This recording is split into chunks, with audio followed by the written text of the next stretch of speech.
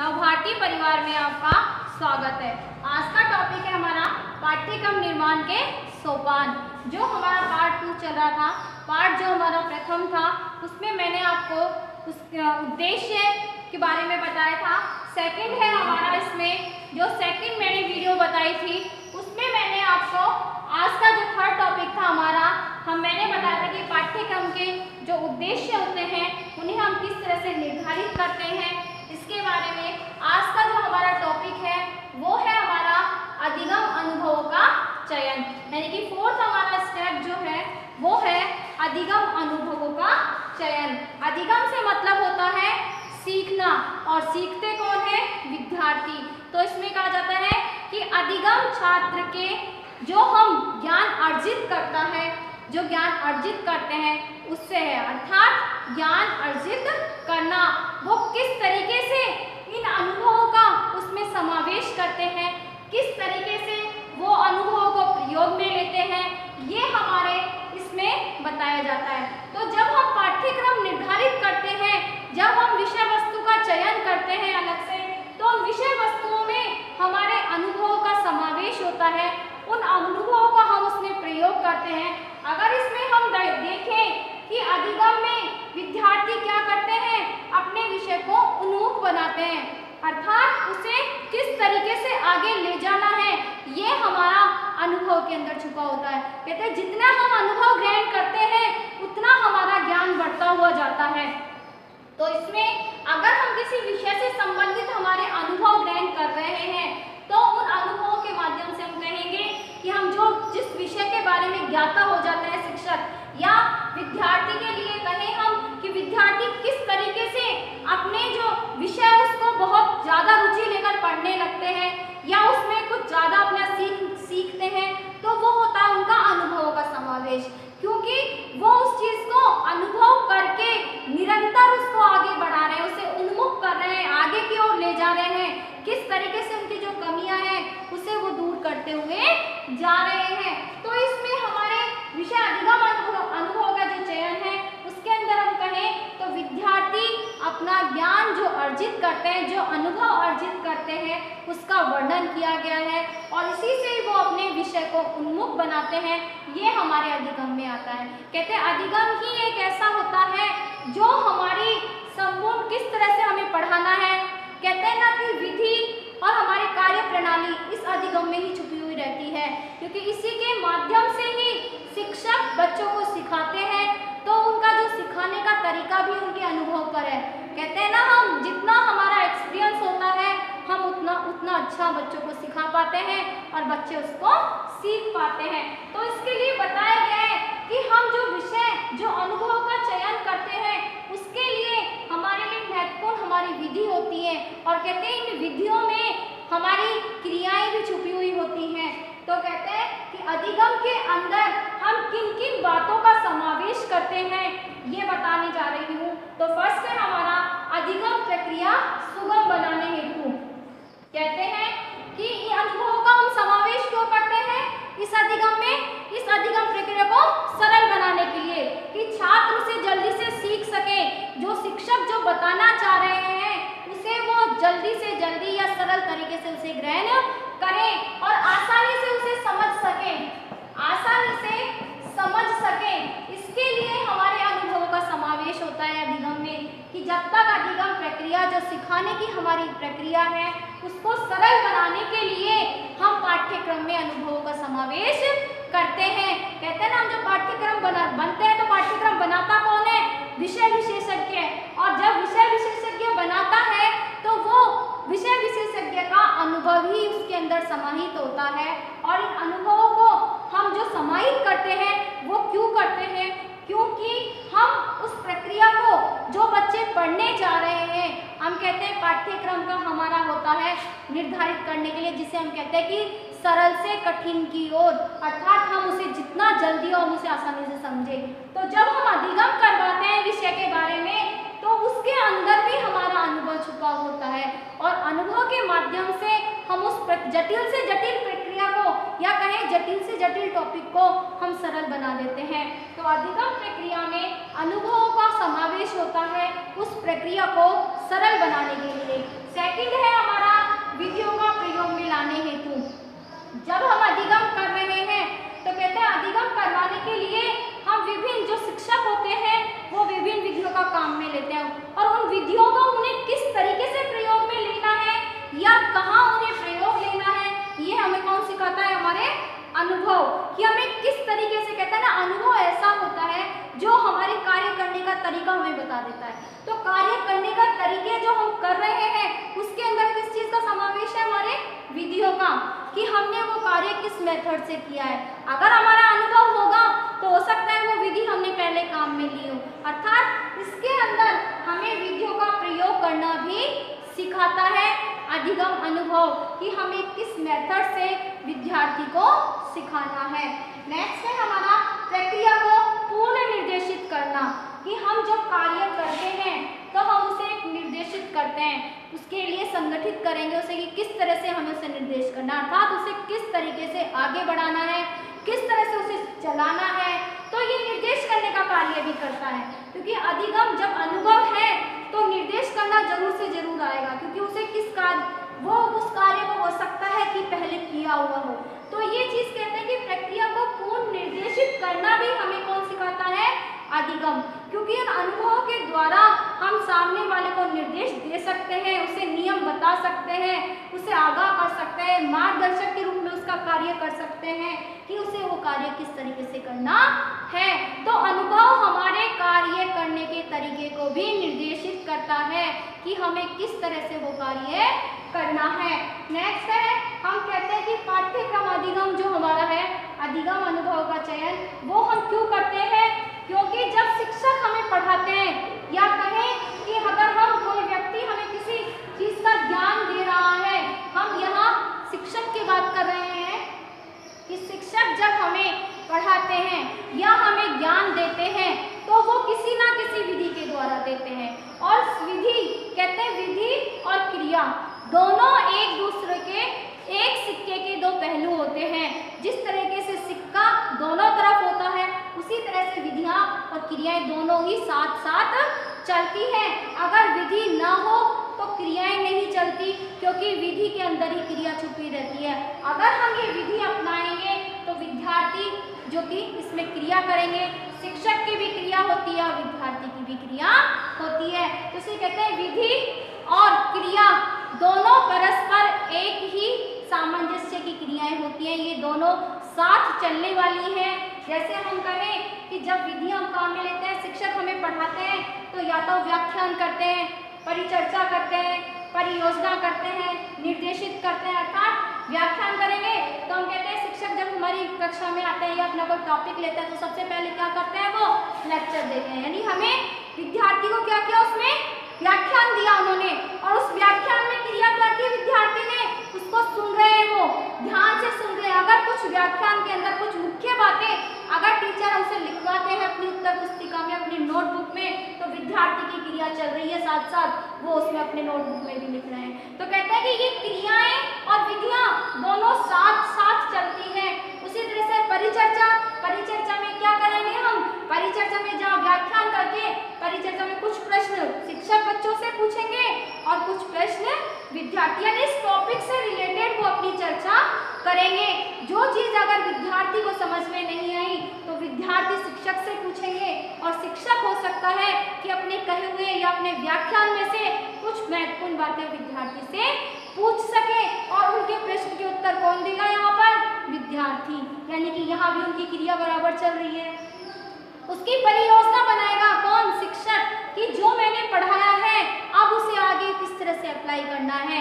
बच्चों का कोई होमवर्क देकर या हम कहें उसके टेस्ट लेकर, इन सब चीज़ों का समावेश। तो इसी तरीके से या तो अगर हम कहें कि अलग अलग विषय के लिए हम अलग अलग विधियाँ काम में लेते हैं और उनके साथ हमारी क्रियाएँ चलती रहती हैं। हम क्रियाएँ करते, अगर बच्चों को हमें कहते हैं कि जोग्राफी के लिए, भूगोल के लिए हम कहीं बाहर ले जाते हैं और बच्चों को उस चीज़ का ज्ञान देना चाहते हैं तो हम खुले में ले जाकर भ्रमण करवा के उस चीज़ का अध्ययन करवाते हैं। अगर हमें इतिहास के बारे में है तो कहते हैं, इतिहास के लिए हम किसी पर्यटक स्थल पर ले जाके और बच्चों को उस चीज़ के बारे में दिखाते हैं। हो सकता है हम किसी टीवी के माध्यम से, किसी टेक्निक के माध्यम से बच्चों को उस चीज़ के बारे में समझाएँ। अगर हम किसी लैब में प्रयोग करके बच्चों को सिखाएँ तो विभिन्न क्रियाएँ हमारी साथ साथ बच्चों के चलती रहती हैं, क्योंकि इन विधियों में विद्यार्थी की क्रियाएँ भी छुपी हुई होती हैं। इसीलिए ये जो हमारी विधि है विधि में हमारी क्रियाएँ छुपी होती हैं और ये दोनों एक दूसरे के परस्पर, जो कहते हैं कि एक सिक्के के दो पहलू होती हैं, इनके विधि के बिना क्रियाएँ संभव नहीं है। जब विधि होगी तभी बच्चे की क्रिया होगी। अब हम कहें कि हम अधिगम अनुभव का चयन करने के लिए हम किन बातों का हमें ध्यान रखना चाहिए? या हम कहें हमें कौन सी चीज़ों के लिए सावधानी रखनी चाहिए? कि हम जब ये कार्य करें तो हमें ऐसी कौन सी सावधानी हमें रखनी चाहिए? तो सबसे पहला हम कहेंगे उद्देश्य। सबसे पहला है हमारा उद्देश्य। जब हम अधिगम अनुभव करवा रहे हैं तो उन अनुभव का समावेश करने के लिए हमें ये ध्यान में रखना है कि क्या उन अनुभवों से हमारे उद्देश्यों की पूर्ति हो रही है? जो उद्देश्य हम लेके चल रहे हैं हमारे कार्य करने का, क्या हम उन उद्देश्यों की पूर्ति कर रहे हैं? तो कहते हैं यहाँ हमें हमारे उद्देश्यों की पूर्ति हो, ऐसा हमें अनुभव लेना चाहिए। तो अधिगम अनुभव में हमारे उद्देश्य पूर्ति करने की क्षमता होनी चाहिए, जिससे कि विद्यार्थी के जो उद्देश्य होते हैं, जो लक्ष्य होते हैं, जो वो कार्य करना चाह रहा है, उस कार्य की पूर्ति यहाँ होनी चाहिए। सेकंड है हमारा उपयोग। कहते हैं कि जब तक जो कार्य हमारे लिए उपयोगी नहीं होता है हम उस कार्य को नहीं करते हैं। तो यहाँ अनुभव भी हमारा ऐसा होना चाहिए कि जो हमारे लिए उपयोगी हो अर्थात वो हमारे उपयोग में ला, लाने लायक हो। जो कार्य हम कर रहे हैं उस कार्य को पूरा करने के उपयोग में हमारा हमारा अनुभव होना चाहिए। अर्थात जो उद्देश्य ले रहे हैं, उसको उपयोगी बनाने के लिए हमें हमारे अनुभवों का प्रयोग करना चाहिए। फिर है हमारी संभावना। संभावना का अर्थ होता है हमारा संभावना। संभावना का अर्थ है हमारा संभावना कि किस तरीके से हमें, कहते हैं कि हमें जब हम किसी कार्य को करते हैं तो हम कहते हैं कि कितना समय लगने वाला है? या हम कह दें कि कैसा है कैसा समय है कितना समय लगने वाला है। या हम इसे कह दें कि हमें इस कार्य को करने में कार्य को हम पूरा कर रहे हैं। वो कार्य हमारा कहाँ तक पूरा हुआ? यानी कि ये हमारी संभावना पर है। हमारे कार्य करने की संभावना कि हम किस तरह से इस कार्य को पूरा करते हैं। तो यहाँ पर कहा जाता है कि जो हम टारगेट लेकर चलते हैं, जो हमारी संभावनाएँ होती हैं, उन सारी संभावनाओं की पूर्ति करने वाला हमारा अधिगम अनुभव होना चाहिए। हमें ये पता होना चाहिए कि हम जो कार्य कर रहे हैं, उसे कितना समय लगने वाला है। उस कार्य को करने से हमें क्या लाभ होने वाला है? उन सारे संभावनाओं की पूर्ति करने वाला होना चाहिए। फिर है हमारा अभिप्रेरणा। कहते हैं कि हमारा जो पाठ्यक्रम है, या हम कहें कि अब पाठ्यक्रम में, विषय वस्तु में जब हम अनुभवों का समावेश कर रहे हैं तो कह रहे हैं कि अभिप्रेरित करने वाले हमारे अनुभव होने चाहिए, जो कि हमें मोटिवेट करें कि हम जिस कार्य को कर रहे हैं, वो 100 परसेंट हमारा कार्य पूरा होगा। ऐसे हमारे अनुभवों का इसमें समावेश होना चाहिए। तो कहते हैं, जो हमें अभिप्रेरित करे, हमें प्रेरणा दे, ऐसे हमारे यहाँ पर पाठ्यक्रम होना चाहिए और ऐसे ही उनके अंदर हमारे अनुभवों का समावेश होना चाहिए। फिर है चिंतन कौशलों का विकास। कहते हैं, जो स्किलिंग डेवलपमेंट है इसमें, वो कौन सा वाला होता है? थिंकिंग का। कहते हैं कि सोचने समझने के कौशल का विकास करता है अनुभव, क्योंकि जब हम कार्य कर रहे हैं, विभिन्न अनुभवों का समावेश कर रहे हैं, या हम अपना, अपने ही अनुभवों को दोबारा हम उसको प्रयोग में ले रहे हैं तो जब हम कोई कार्य करेंगे तो हम पूरी तरह से सोच विचार कर करेंगे या हम सोचने समझने की क्षमता जागृत होगी हम ज़्यादा सोचेंगे उसके बारे में कि यही अनुभव, जब ये कार्य हमने पहले किया था तो हमारी इसमें क्या त्रुटि आई? तो हमारा क्या चिंतन होगा कि वो त्रुटि हमारी वापस रिपीट ना हो? तो यहाँ हम ज़्यादा से ज़्यादा सोचने लगेंगे। यानी कि उन अनुभवों का जब हम प्रयोग कर रहे हैं तो हम उन्हें और भी अच्छे से सोच समझकर हम उनका प्रयोग करेंगे। तो कहते हैं कि जो अनुभव है, वो हमारे चिंतन कौशलों का विकास करता है। हमें सोचने, समझने की क्षमता पर और ज़्यादा गहरा असर पड़ता है। फिर है हमारा पूर्ण विकास। कहते हैं कि जो हमारा अनुभव है, वो हमारे पूर्ण विकास भी करता है। इस तरीके से ये हमारी संवेदनात्मक, भावात्मक और मनोक्रियात्मक दोनों क्रियाओं का इसमें विकास होता है। इन तीनों क्रियाओं के द्वारा हम अपने लक्ष्य की प्राप्ति, अपने उद्देश्य की प्राप्ति करते हैं। जिसमें कहते हैं कि अगर हम संविदात्मक में करेंगे तो कहते हैं कि यहाँ हमारी शारीरिक और मानसिक क्रियाएँ शुरू होंगी। हम दिमाग से सोचेंगे, भावात्मक में हम जिन क्रियाओं को कर रहे हैं, उसमें हमारे थोड़े भाव भी छुपे होंगे।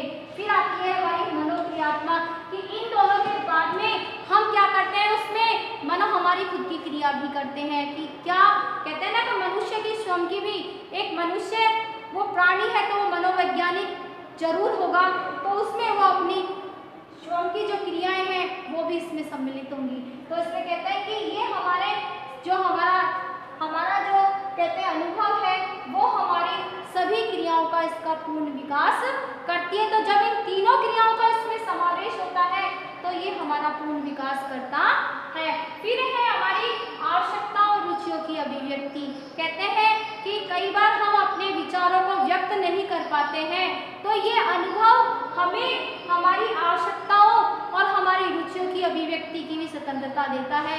हमें ये सिखाता है कि हमें किस तरीके से हमारी इंटरेस्ट या हमारी आवश्यकताओं के बारे में हमें जानना चाहिए।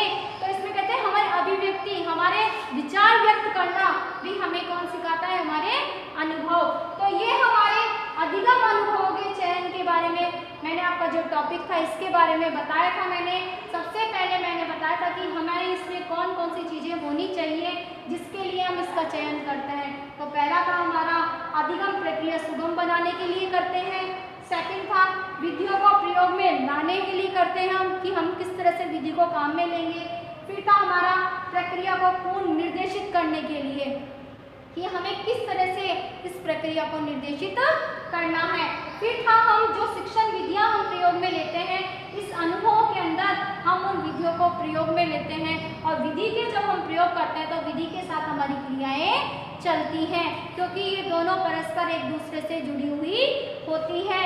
फिर मैंने आपको बताया था कि जो हम चयन कर रहे हैं, अधिगम अनुभवों का, उसका चयन क्यों करते हैं? किन चीज़ों का हमें ध्यान रखना चाहिए?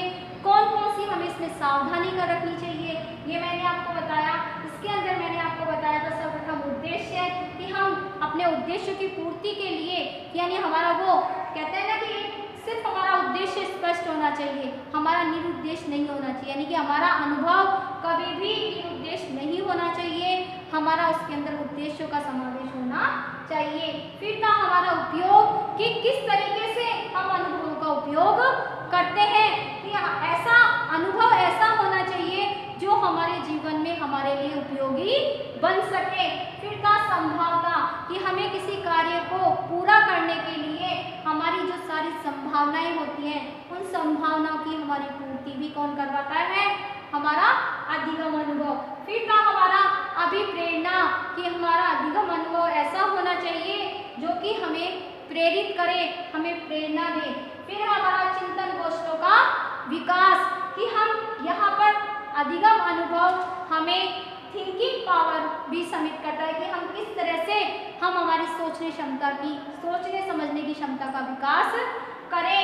फिर था हमारा पूर्ण विकास, जिसमें मैंने तीनों क्रियाएँ बताई थी आपको। इसमें संविधात्मक भावात्मक और मनोक्रियात्मक। इन तीनों क्रियाओं का इसके अंदर समावेश होता है। लास्ट में इसमें था हमारा आवश्यकताओं एवं रुचियों की अभिव्यक्ति। कि हम किस तरह से हमारी आवश्यकताओं को भी और हमारा जो इंटरेस्ट होता है, उसकी भी अभिव्यक्ति या उसका भी प्रयोग हम किसके माध्यम से करते हैं? हमारे अनुभव के माध्यम से। अब मेरा लास्ट आपका टॉपिक था मेरा मूल्यांकन। लेकिन मैं मूल्यांकन से पहले मैंने आपको बताया था कि जो मूल्यांकन से पहले हम जिस प्रक्रिया से गुजरते हैं, उस प्रक्रिया का मैं आपको थोड़ा सा वर्णन बताऊँगी। तो कहते हैं कि जब हम यहाँ कार्य करते हैं हमारे अनुभव का प्रयोग करते हैं तो अनुभव के बाद में हम क्या करते हैं हमारे संसाधनों की पहचान करते हैं संसाधन यानी कि जो हम उपकरण काम में ले रहे हैं, यानी कि हम जो कार्य कर रहे हैं, जब हम कोई कार्य करते हैं तो उस कार्य को पूरा करने के लिए हमें संसाधनों अर्थात हमें उपकरणों की आवश्यकता होती है। तो इसमें पाठ्यक्रम जब हम करवा रहे हैं, विषय वस्तु का चयन कर रहे हैं तो उस विषय से संबंधित हमें किन किन, कहते हैं कि ना, हमें विषय वस्तु से संबंधित जिन जिन उपकरणों का प्रयोग हमें करना होता है, उनकी पहचान भी हमें कौन है हमारा पाठ्यक्रम कि हमें किस विषय के लिए, किस प्रकरण के लिए हम हम किन किन विषयों का किन किन चीज़ों का हम प्रयोग में ले सकते हैं, किन उपकरणों का हम प्रयोग करते हैं। हम ये कह देते हैं कि अगर हम एसएसटी पढ़ा रहे हैं तो एसएसटी में हम क्या करते हैं? एसएसटी के अंदर हम कोई मॉडल दिखाते हैं, है ना? या हम किसी पर्यटक स्थल पर ले जाकर, यानी कि बच्चों को वहाँ लेके, उस, लेके जा रहे हैं, उस चीज़ों को दिखा रहे हैं। तो हम जो है मॉडल काम में ले रहे हैं। हम यहाँ चार्ट जो काम में ले रहे हैं ब्लैक बोर्ड यानी कि हमें जिस चीज़ के बारे में ज्ञान दे रहे हैं, उससे रिलेटेड हमें जिन जिन उपकरणों की आवश्यकता होती है, वो हमारे संसाधन होते हैं। तो कहते हैं कि हम जब ज्ञान, जो पाठ्यक्रम हाँ पाठ्यक्रम बनाते हैं तो पाठ्यक्रम हमें उन संसाधनों, उपकरणों की पहचान करवाता है कि हमें किस विषय वस्तु के लिए, हमें किस उपकरण की आवश्यकता होती है। फिर था हमारा शिक्षण विधियाँ निर्धारित? यानी कि हम जब पढ़ाते हैं या हम जिस विषय को पढ़ाते हैं, उसके लिए हम अलग अलग विधियों का प्रयोग करते हैं। वो विधियों का चयन करना भी हमें कौन सिखाता है? हमारा पाठ्यक्रम। हम कहें कि अगर हम देखें कि हमारे अगर हम हिंदी विषय, हम भाषा साहित्य पढ़ाते हैं तो हम भाषा साहित्य के लिए। हम गणित पढ़ा रहे हैं तो गणित के लिए विधि अपनाएँगे। हम हिस्ट्री पढ़ा रहे हैं, इतिहास तो हम उसकी विधियाँ काम में लेंगे। यानी कि विभिन्न विभिन्न विधियों का हम इसमें प्रयोग करेंगे।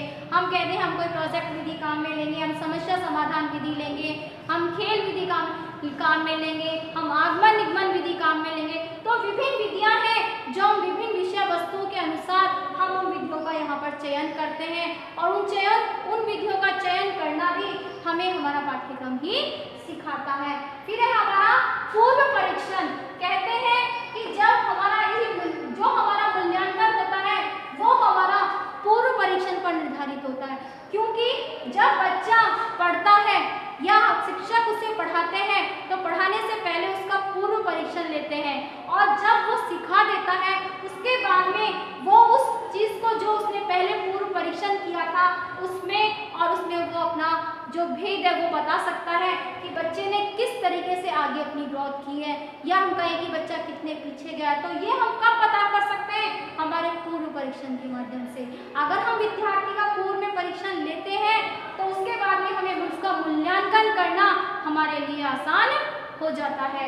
अब आता है, हम कहते हैं कि शिक्षण विधि जब हम निर्धारित करते हैं तो उसके लिए हमें किन किन विधियों का किन किन चीज़ों का हमें ध्यान रखना चाहिए कि हमें उन चीज़ों का पता रहे कि हम जब विधि निर्धारित कर रहे हैं तो हमें मुख्य बातें कौन सी हैं जो हमें ध्यान में रखनी है? तो सबसे पहले हम कहते हैं कि हमें विषय से संबंधित होनी चाहिए। यानी कि हम जो विधि काम में ले रहे हैं, वो हमारे विषय से संबंधित होनी चाहिए। और सेकंड है हमारे उद्देश्य के अनुरूप। अर्थात हम जो उद्देश्य लेके चल रहे हैं, उन उद्देश्य के अनुरूप ही हमारा शिक्षण विधि होनी चाहिए। अधिगम स्तर को देखते हुए हमें शिक्षण विधि का चयन करना चाहिए। कि शिक्षार्थी का अधिगम स्तर कितना है, या हम कहें उनकी शारीरिक और मानसिक योग्यता के आधार पर हमें उनके अधिगम स्तर को जांचना होता है और उसी के आधार पर हमें उन विधियों का प्रयोग करना होता है। शिक्षक की योग्यता। हम यहाँ पर जब विधि काम में लेते हैं तो हमारे यहाँ शिक्षक की योग्यता भी महत्वपूर्ण होती है। क्योंकि जब जिस विधि का प्रयोग अगर शिक्षक स्वयं नहीं जानेंगे तो वो विद्यार्थी को भी उस चीज़ के बारे में नहीं सिखा सकेंगे। इसीलिए हमें शिक्षक की योग्यता के आधार पर ही हमारी विधियों का चयन करना चाहिए। हम ये नहीं कर सकते, अगर एसएसटी के अध्यापक हैं तो हम उसे साइंस की विधि काम में लेने के लिए नहीं कह सकते क्योंकि वो उनकी योग्यता से बाहर है, क्योंकि वो है टीचर किसके? एसएसटी के। तो ये कहा जाता है कि शिक्षक की योग्यता के आधार पर ही हमें विधि का प्रयोग करना चाहिए। फिर है हमारा पूर्व अधिगम अवसर, यानी कि जब बच्चे ने सीखा है तो पहले क्या सीखा? उसका भी हमें ध्यान में रखना चाहिए। पूर्व अधिगम स्तर कि बच्चे का पहले का सीखने का स्तर क्या है? और अब जब शिक्षक ने सिखाया है बच्चे को तो उसके अधिगम में क्या परिवर्तन आया है? ये परिवर्तन जानने के लिए हम इन विधियों का प्रयोग करते हैं। अब है हमारा लास्ट में मूल्यांकन। कहते हैं, मूल्यांकन क्यों करते हैं हम? क्योंकि विद्यार्थी के मूल्यांकन में हम विद्यार्थी के मूल्यों का अंकन करते हैं और इन मूल्यों का अंकन हम किस आधार पर करते हैं? हम कहते हैं कि हमारा मूल्यांकन कैसा होना चाहिए? निरंतर। यानी कि मूल्यांकन हमारा निरंतर चलता रहना चाहिए। और निरंतर कैसे चलेगा? हो सकता है कि शिक्षक पढ़ाए, कभी बच्चों से प्रश्न पूछे, कभी बच्चों से प्रश्न के टेस्ट दें एग्ज़ाम ले। या हम कहें कि निरंतर वो प्रक्रिया हमारी जो टीचर सिखाते हैं, उसके लिए वो निरंतर बच्चे से पूछते रहे। ये प्रक्रिया चलती रहनी चाहिए व्यापकता, कहते हैं कि मूल्यांकन जो होता है, वो व्यापक होता है। यहाँ हम बच्चे की पूरी एक्टिविटीज़ मूल्यांकन में हम विद्यार्थी की सारी क्रियाओं पर ध्यान देते हैं, जो हमारी पाठ्य से आगामी क्रियाएँ भी होती हैं, साथ में बच्चे की जो शैक्षिक क्रियाएँ होती हैं, उन सभी क्रियाओं का इसमें समावेश होता है। तो मूल्यों का अंकन जो होता है, वो इन सभी के आधार पर होता है। इसीलिए ये एक व्यापक प्रक्रिया होती है। फिर है। निदानात्मक अर्थात जो समस्या बच्चे, हमारे सामने समस्याएँ आती है, विद्यार्थी के सामने या शिक्षक के सामने जो विद्यार्थी अपनी समस्याओं का प्रस्तुतिकरण करते हैं, वो हमारा निदानात्मक होता है। उसके लिए हमारे शिक्षक क्या करते हैं? उसके लिए उपचारात्मक प्रक्रिया करते हैं। उसकी वो उपचार के द्वारा उस प्रक्रिया को दूर, उस समस्या को दूर करते हैं। तो ये हमारी आज के जो हमारे पाठ्यक्रम के निर्माण के सोपान थे, अधिगम अनुभव का चयन, और साथ में मैंने मूल्यांकन और मूल्यांकन से पहले होने वाली सभी प्रक्रियाओं के बारे में आपको बताया है। धन्यवाद।